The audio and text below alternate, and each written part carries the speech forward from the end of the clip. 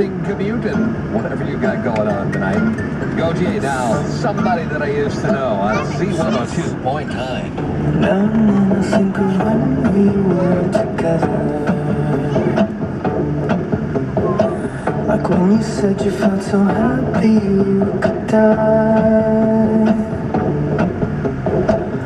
Told myself that you were right for me, but felt so lonely in your company.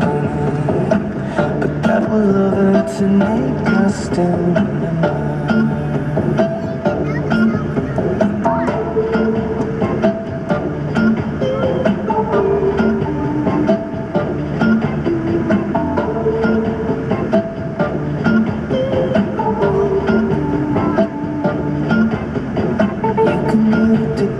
Certain kind of sadness Resignation to the end, always the end. So when we found we could not make sense Well, you said that we would still be friends.